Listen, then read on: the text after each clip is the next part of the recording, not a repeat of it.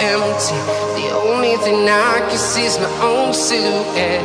I'm getting stronger, step by step. The clock is ticking, but there's no time for me.